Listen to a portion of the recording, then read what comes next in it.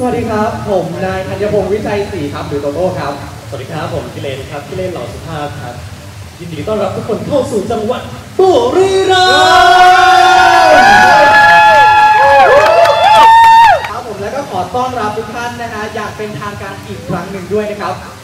ครับผมดีใจที่ทุกคนได้มาที่บุรีรัมย์จังหวัดของเราที่นี้นะครับผมเอาละครับอ่าในรอบนี้นะครับเราจะพบกับผู้เข้าประกวดในรอบชุดว่ายน้ำจาก Active แบรนด์เสื้อผ้ากีฬาชั้นนำครอบคลุมทั้ง Active Wear Swimwear และ Underwear ครับผมอื้อหือที่เราใส่อยู่นี่ก็ของเขาเหมือนกันเหมือนกันครับ ผมใส่สบายมากเลยครับ